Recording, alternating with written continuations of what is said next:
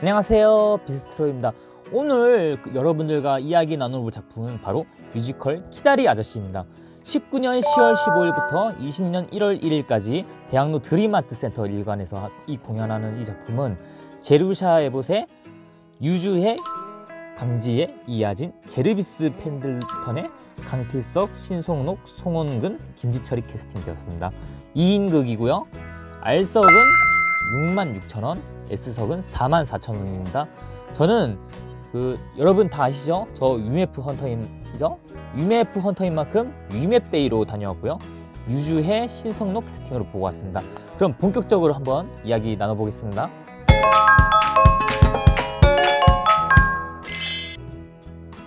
우선 제가 본 페어에 대해 잠깐 말씀드려볼게요. 진짜 그야말로 키다리 아저씨더라고요. 신성록 배우님은 실제로 보니까 키가 진짜 크고요. 심지어 손도 커요. 신성록 배우님 손 크기의 한 2분의 1이 유주혜 배우님 손 크기더라고요. 그만큼 키 차이가 많이 나서 더 이미지가 진짜 잘 맞아 떨어졌다고 저는 생각했어요.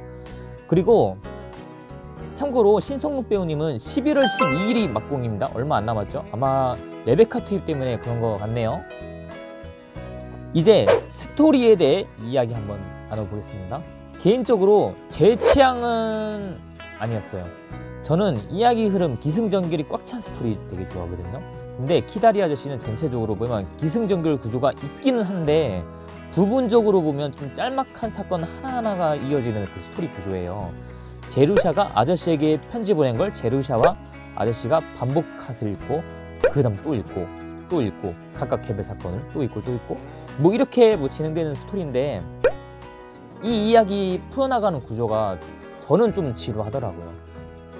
아무튼 전체적으로 극을 보면 어쨌든 뭐 저에게는 힐링 극이었습니다.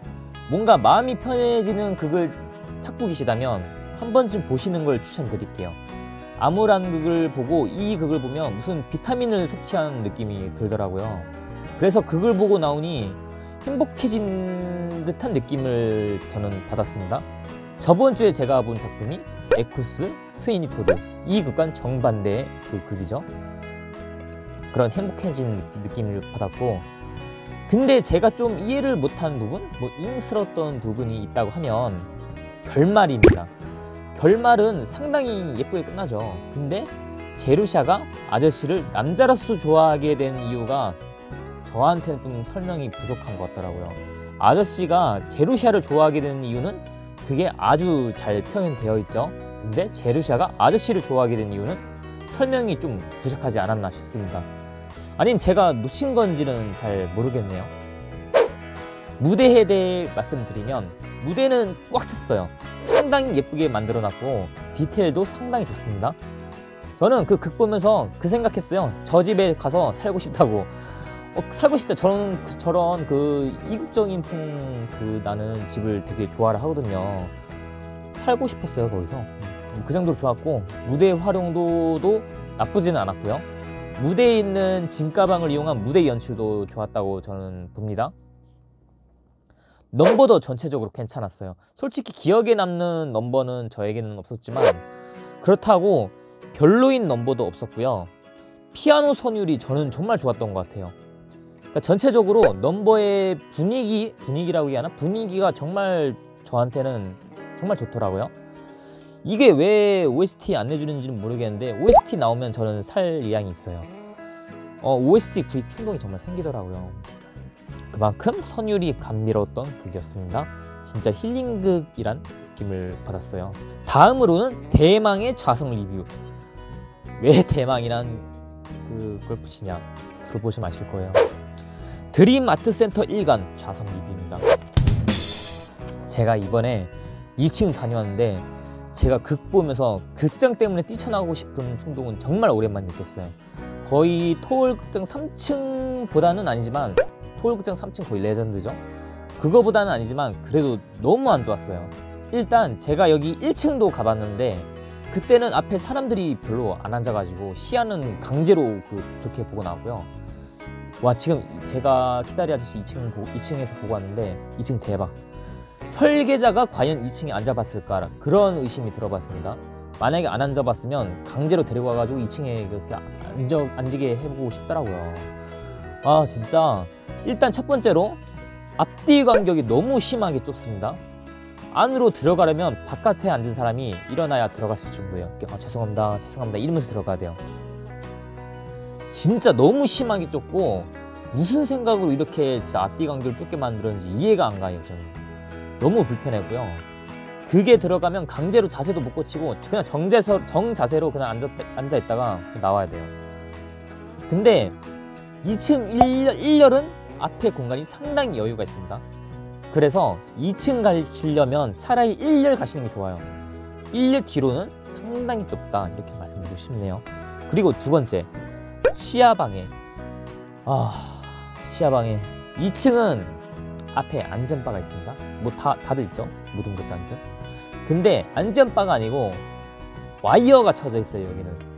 저는 그 극 시작 전에 저 와이어를 어떻게 처리를 할까 어떻게 내릴까 그게 궁금했는데 생각했던 거와는 전혀 다르게 그냥 안 내리더라고요 되게 쿨하게 그냥 그 와이어 밑에 안전바가 있긴 있거든요 그 안전바를 살짝 내리고 와이어는 그냥 냅둬요 그냥 그 그래서 그, 그래서 그 와이어 쳐져 있는 상태에서 그걸 봐야 돼요 당연히 시야 방해가 있겠죠 물론 와이어가 그렇게 크게 시야 방해는 없는데 여러분 생각해 보세요. 앞에 극이 진행되고 있는데 그 자신의 시야에 줄 세 개가 세네 개가 쫙쫙 그려져 있어요.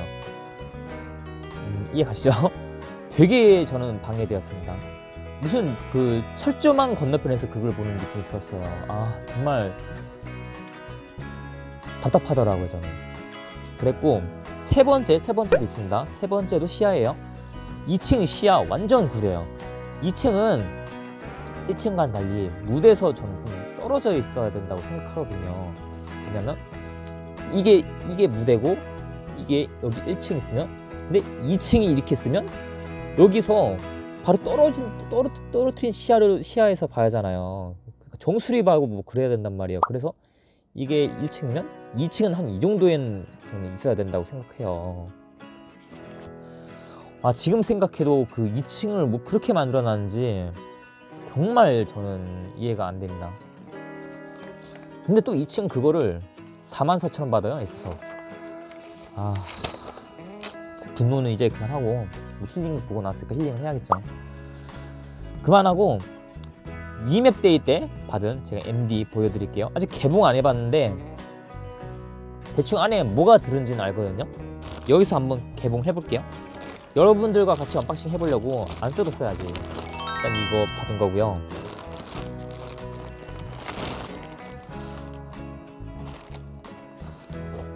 자, 이런 파우치 안에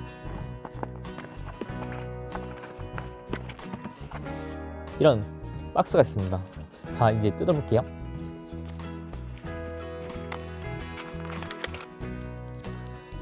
일단 여기 안에 들어있는 걸 보여드리기 전에 이번에도 역시 이렇게 배지를 받았어요. 예쁜 배지를 받았죠? 나중에 그 콜렉션 하나 하려고요.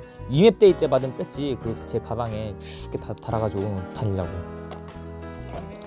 자 안에 들은 거는 이런 머그컵입니다 참고로 저번에는 에코백이었죠 자, 컵 어, 예쁘죠? 여기에 그 로고 박혀 있고 이 뒤에 위 메이크 그렇죠. 어때 진짜 좋은 것 같아요. 가면 가격도 어, 저렴하게 갈 수 있고 이런 상품도 주잖아요. 살 수 있는 MD가 아니라 그래서 더 특별한 것 같아요. 근데 그 재택증 이런 거 받으면 저 안 써요. 그냥 갖고 있어요. 나중에 뭐 기회가 되면 뭐 구독자 이벤트 뭐 그런 걸로 뿌릴 기회가 뭐 있겠죠? 이것도 고이 간직하고 있어야겠네요. 지금까지 뮤지컬 키다리 아저씨 리뷰였고요. 분노의 극장인 것 빼면 전체적으로 저는 좋았던 극이라고 생각합니다. 그럼 다음에 또 다른 작품 가지고 찾아올게요. 구독과 좋아요 눌러주시고요. 저는 다음 영상 찾아뵙겠습니다. 그만 갈게요. 안녕